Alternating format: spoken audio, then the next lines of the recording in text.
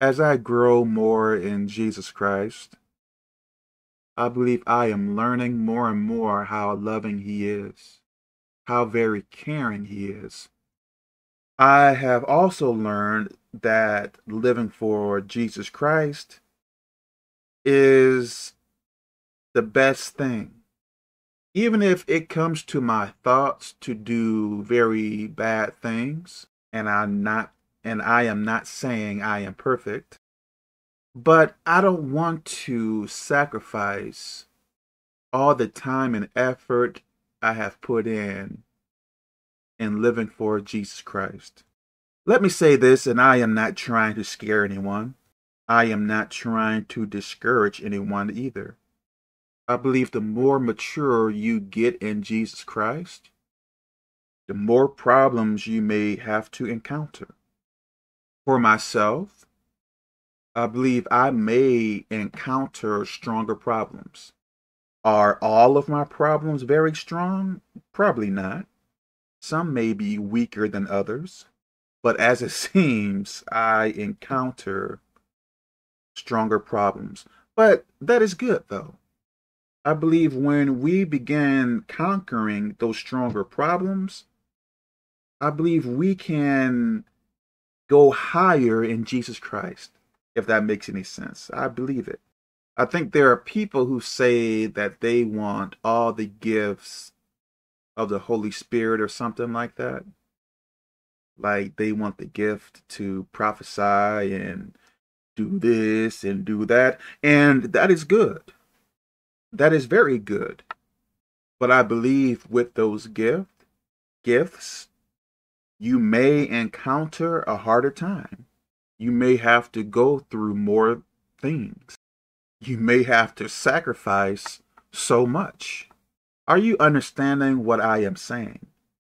If I am not mistaken, we may have to go through certain things when we have a particular gift. So I would say be very, very careful of what you ask for. For myself, back in the past, and maybe still now, I don't know, but let's say back in the past, I would ask God in prayer, like, how do I elevate? How do I become more stronger in Him?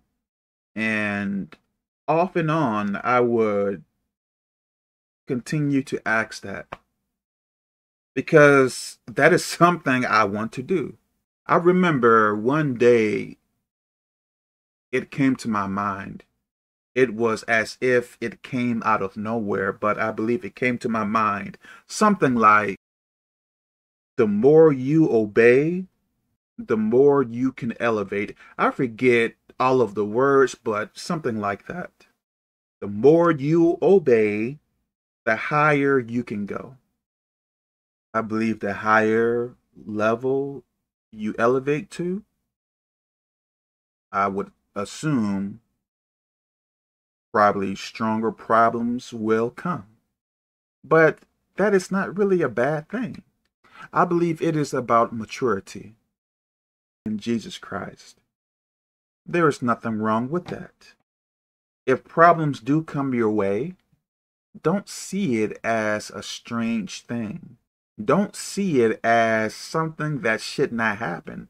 Problems will come. I think they are unavoidable. Think about the Apostle Paul. That man went through so many problems. Peter and them went through problems. Probably worse than we will ever go through, probably. Be careful of what you ask for. Am I trying to scare you? No. Am I trying to discourage you? Of course not. But I believe sometimes we may ask for things that we may not know much of. It kind of reminds me of marriage. you may ask God for you to get married. There is absolutely nothing wrong with that.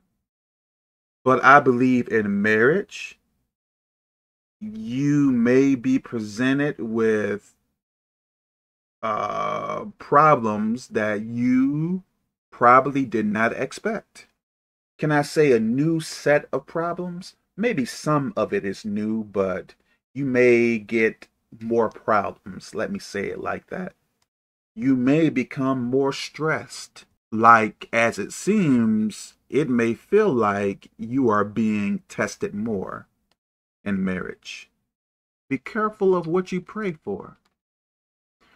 You may pray for something and it may look good on the outside, but if you take a peek in the inside, which I don't think you really can, you may have to go through so many problems.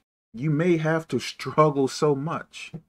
You may have to go through some things that you probably did not have to go through before. Be careful of what you pray for. You can pray for something, and I believe God can give it to you if what you are praying for is not sinful. But the question is, can you handle it? Are you responsible? Are you long suffering? Are you going to give up very quickly? The question is, can you handle it? Let me stop here. May God bless us.